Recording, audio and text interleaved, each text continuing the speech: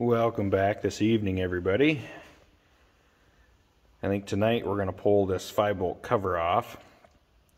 According to the manual, they specify a cat tool to take that nut off behind that cover. I just want to see if it's something I'm going to be able to get off or if I'm going to have to make a tool for that. Because we're going to have to pull that lower shaft out of there. And then, once we get that off, I think we're going to migrate to the back. And we'll get them fold over locks and bolts pulled on these caps. We'll have to mark them so we know what side is what. And we'll get it ready to pull this rear shaft out. Alright, same procedure as always. Break them loose by hand. Just make sure we don't have anything that's excessively tight. Helps if you have it going the right way.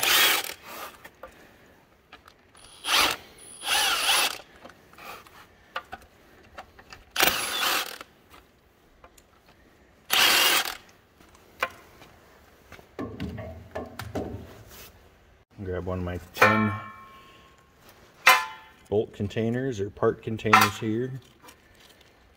Get those in there. Set that off to the side. Now we'll have to try and get this cover off here.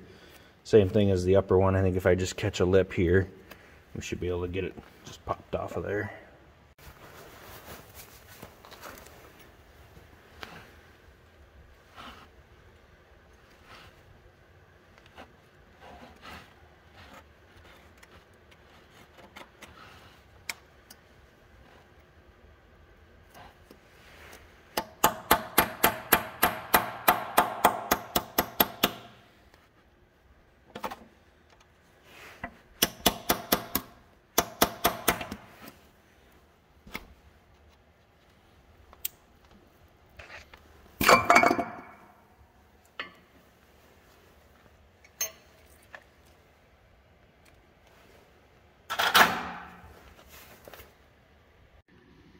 Well, I'm not sure if you guys can quite make it out in the lighting here.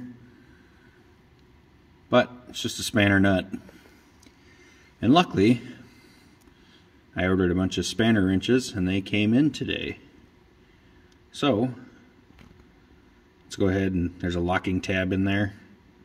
We'll get that pushed back or flattened out. And we'll come in here with a spanner wrench. See if we can get those to move. Actually, I was wrong here, and I should have known this because I just looked at the book.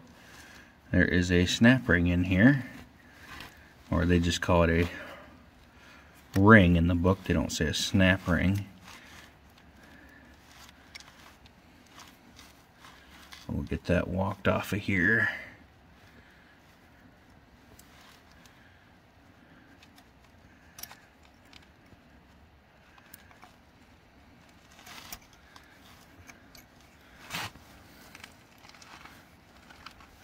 Tell you what, ever since we drained that transmission, everything sure seems to turn a lot nicer. There is, you look, it's got a long leg on it that actually sticks down in to the nut. Or possibly even the shaft.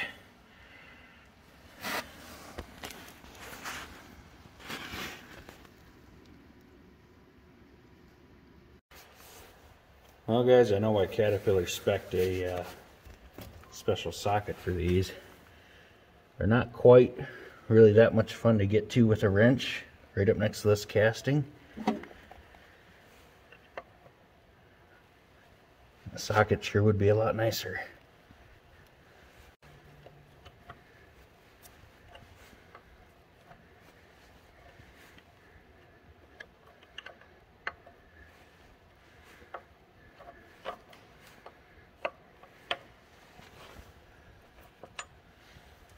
So to give you guys an idea on how that snap ring works, right there in the threads is just a small dimple that the hook part of this would actually sit into.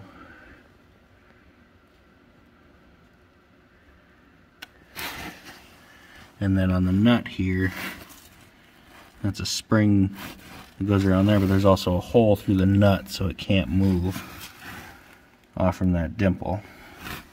And the spring in this keeps it tight around the spanner nut. So with that nut and that out of the way, the book then calls for using the two threaded holes to then back this plate off, just like we did on the top, except we didn't do that on the top because the top one didn't have the threaded holes and either does this one. So basically it's going to be the same method as last time. See if we can kind of catch one of these lips in here, try to get it started moving. That we can possibly see about either using a slide hammer or maybe get a pry bar behind it, just something to keep working it out towards us here. Alright guys, according to the book procedure, they want you to remove this retainer first, this bearing retainer, and that's supposed to slide off the end of the shaft here. After that, they want you to drive this shaft towards the back of the tractor far enough to get your gear assemblies off it. Well, I'm having a hard time actually getting anything behind this one. The profile of the casting is a little different, and I can't get anything to hook on there. But I got to thinking, why can't I just drive this shaft back now far enough to maybe get something on the back side of this to drive it forward?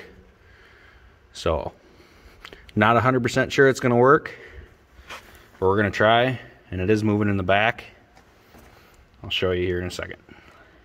At the back of the tractor here, you can see how far that bearing has actually moved out. And we should have ample clearance between that and the ring gear to go quite a ways.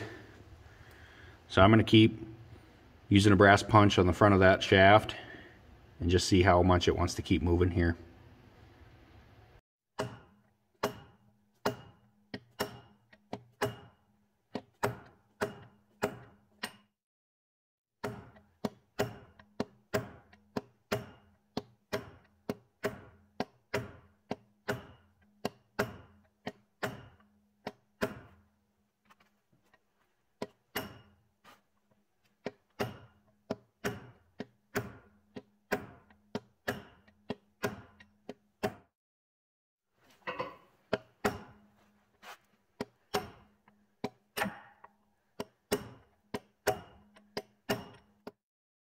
Okay guys, so by driving that shaft back, I was able to create just enough room in there to get my slide hammer on the back of that lip with an extended finger and just get it started here. I got my pry bar in there just holding it. Let's kind of work that pry bar to get that out of there just like we did on the top.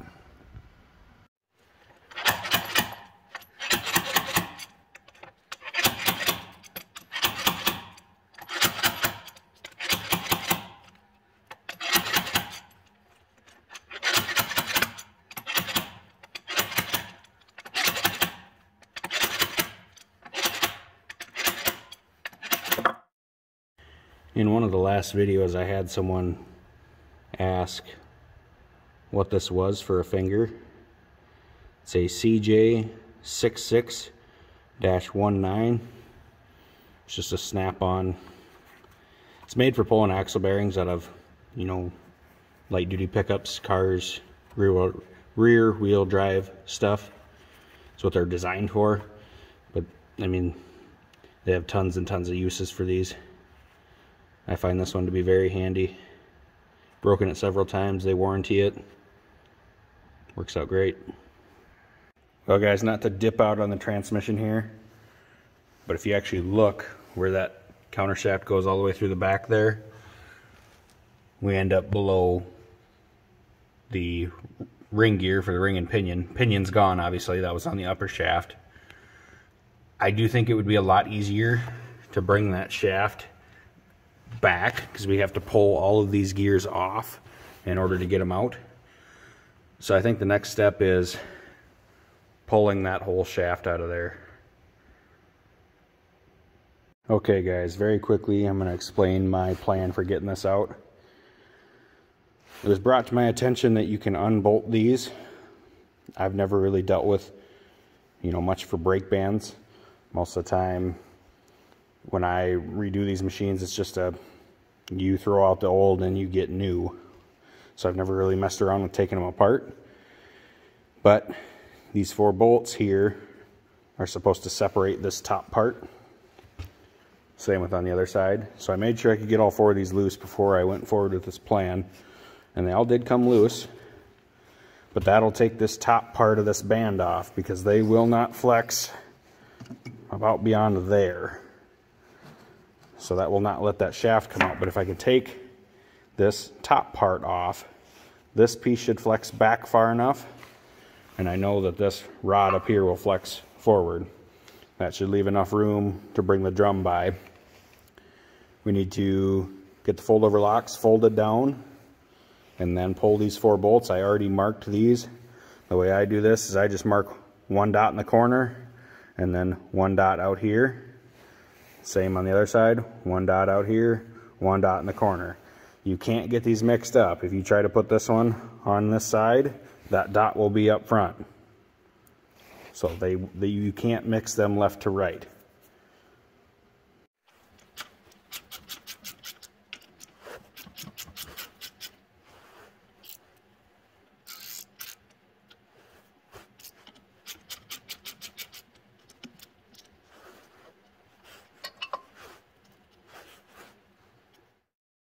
Those four undone, see if we can separate this out here.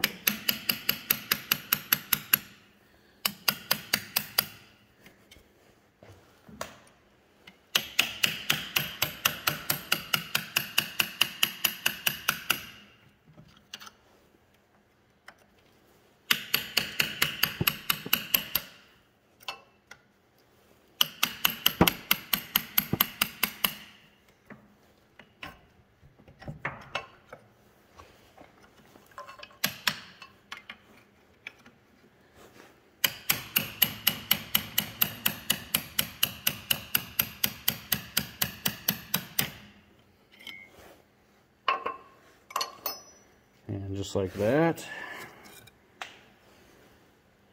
we pulled the top of the shoe. That actually worked out very well. Uh, let's move to the other side. We'll do the same thing.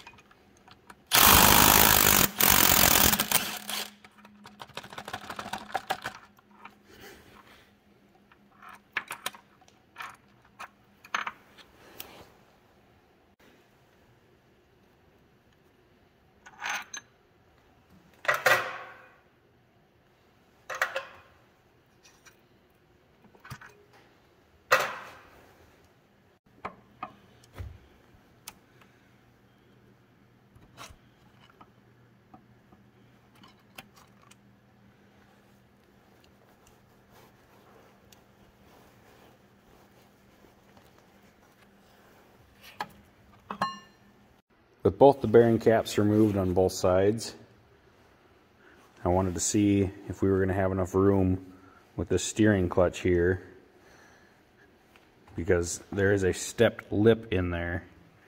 And on this side, that one does not move at all.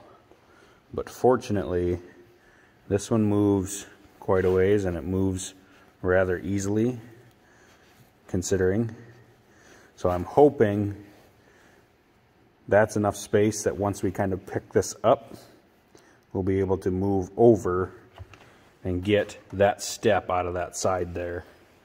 I think we can do that. It doesn't look like there's any obstructions that are going to limit that. I may have to possibly back that off to get it to go. We'll see if I end up doing that. I will mark it just to have a reference for when we go back together.